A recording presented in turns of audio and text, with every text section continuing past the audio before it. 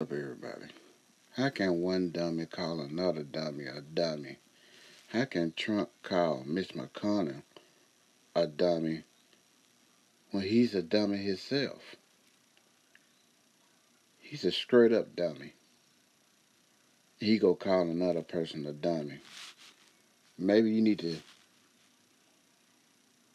check his closet first before he check somebody else's closet.